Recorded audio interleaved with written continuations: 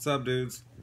I got a movie prop for my review of The Lorien Legacy, or as I like to call it, Fuck the Mogadorians. Let's go.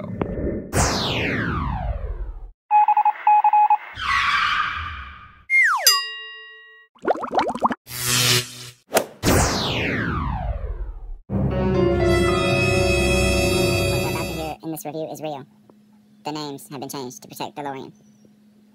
What the fuck was So that? this book was written by three different cats, and two of their names I can't pronounce. One of them is James Frey, and I'm not even sure if I pronounced that right. But anyways, they did it under the collective synonym Pittacus lore, and the book is about aliens. See that light? They're taking me right now as we speak. Okay, they brought me back. Couldn't deal with me very long. I'm kind of an asshole. So, anyways, the first book in the series, I'm number four. I'm sure you guys have probably seen that movie. Um, I kind of like the movie better than the book, honestly. I seen the movie first, so that may have had something to do with it, because most of the time, the books are way better than the movies. But in this case, I kind of liked I'm number four, the movie, better than the book, and I'm really, well, I'm I'm sure there's not going to be any more movies because I'm guessing that it didn't do well in theaters, but I personally thought the movie was badass. And number two is The Power of Six. She's the badass chick that you meet at the end of Am Number Four. Uh, also, a pretty decent book. It gets more into her storyline. Um, you get to get a better feel of Sam. You get to know John a little better. Uh, in case I'm getting ahead of myself, John Smith is the alien that the book is about. He's uh, the main character. And in I'm Number Four, you get to meet him, Henri, and he meets this kid named Sam. Uh, I'm not really going to be able to give you guys an overview of the entire series because I can only do a 15 minute video and that shit would take forever. Book three in the series is The Rise of Nine. He is totally my favorite character. He's a badass. He's got some pretty awesome legacies. One of my favorite being the anti gravity legacy. Uh, if I'm getting ahead of myself again, these aliens have powers. The powers are called legacies. So, anyways, nine kids are put on Earth. They, you know, escaped their planet when it was taken over under attack and shit by the Mogadorians. And yeah, there's nine of them. Um, they all get to Earth. They all separate. They have their Cêpans with them. Their Cêpans are like their little guardians. They're aliens also. They meet up with some humans that help them get their fake identities set up. And they all split up, go to different parts of the world, and pretty much stay the hell away from each other because there's this Lorian charm that's on them.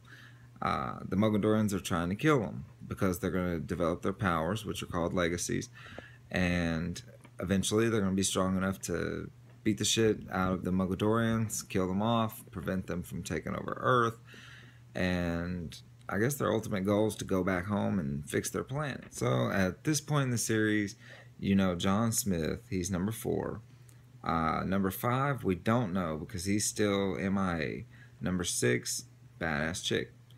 Number nine, aka Stanley, he's kind of like this little rich playboy badass. He's like, um, I shouldn't say little because he's like tall and ripped and like beats the shit out of Mogadorians. He's pretty awesome. Um, John, like I said, his Cêpan was named Henri. We don't get to know Six's Cêpan. Uh, they do mention her name. Uh, it's not Adelina, I don't think. I'm thinking that that's Marina's Cêpan. Marina's number seven. We haven't got that far yet. But anyways, number nine, pretty badass. Now, book number four, we do get to meet number five. And the kid is a psycho. But you don't know that at first. At first, you're thinking he doesn't know shit about fighting. Um, he pretends like he's this little innocent guy that's never seen a Mogadorian and hasn't really had the opportunity to, or I shouldn't say opportunity. I guess I should, he shouldn't have. He hasn't had to defend himself, and he, you know, the group saves him and takes him back, introduces him to everyone. But the thing is, and this is total spoiler, but he is actually working for the Mogadorians. His Cêpan was an old guy, and when the old guy he got here, he got sick. He died early on, and the Mogadorians, the their leader, um, Setrakus Ra, badass. Anyways, their leader, Setrakus Ra, had made a deal with Five. Work for me. I won't kill you because, like I said, their charm that was put on them, they have to be killed in order. So the first three at the beginning of the series are already dead. It starts with John, I'm number four. He's the one next up to die. Then number five has to die, number six, and so on. And once it gets to number nine, he's supposed to be the last, but not necessarily. But we don't find that out till later. There's also number 10. She's a chick named Ella who is Lorian, but she wasn't part of the charm, and uh, the charm gets broken anyway, so none of it will matter after the third book. But yeah, she is also the great granddaughter of Setrakus Ra, who we find out is also Lorian. He's just changed himself through all these mutations and other fucked up shit. But anyways, we also um, it may be this book, it may be the book before, but we also get introduced to number eight. Uh, he's super cool. He's got teleporting powers.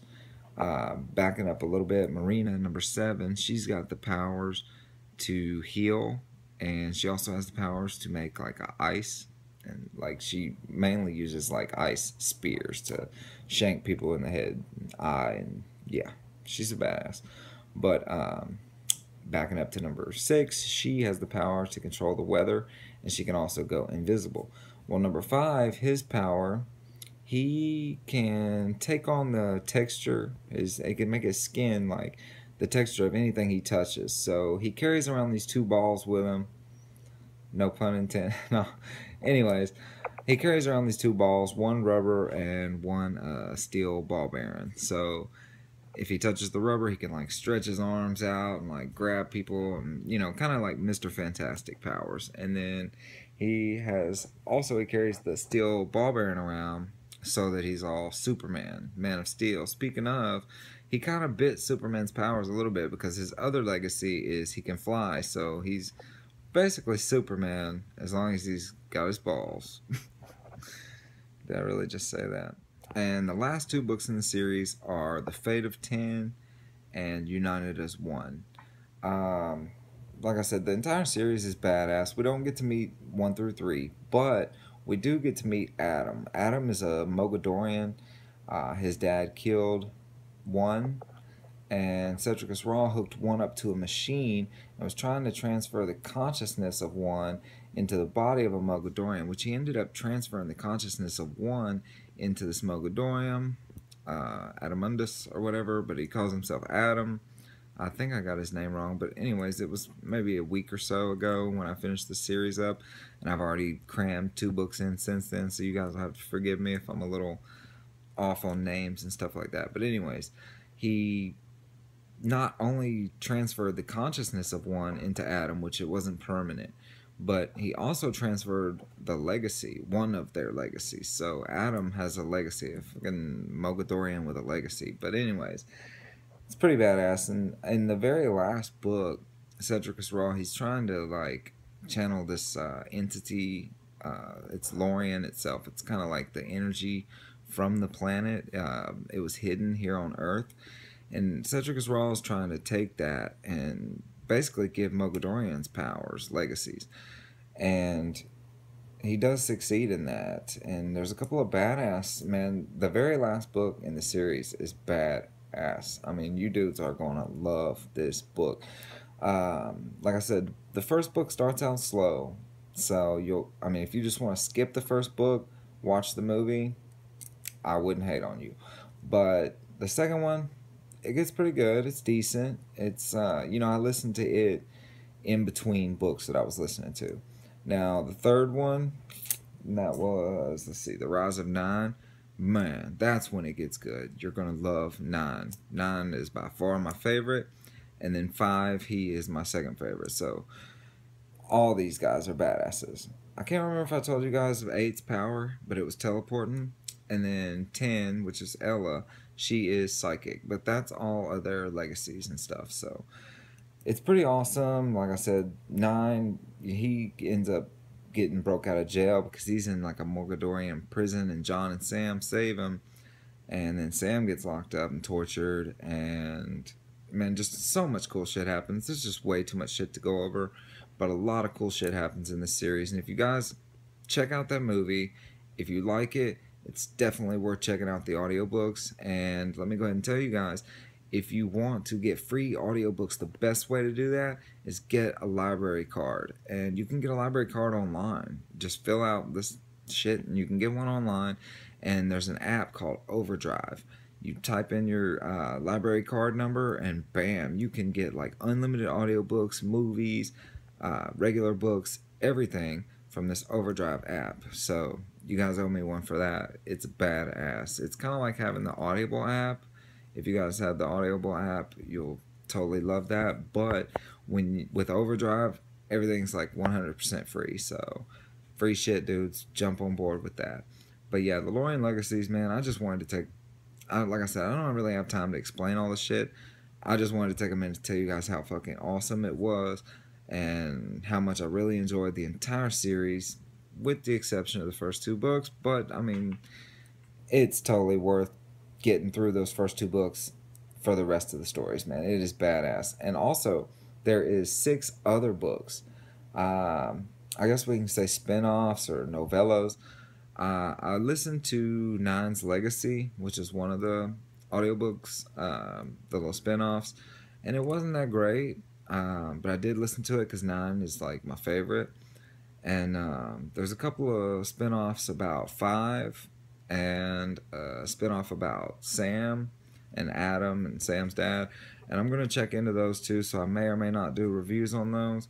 But, dudes, you got to check out the series. It is just badass. So, I just wanted to take a minute to tell you guys how much I loved it and to basically give you guys a heads up on the Overdrive app. So, check that out. Check out the series. Let me know what you think in the comments. And uh, we'll see you dudes tomorrow. Bye.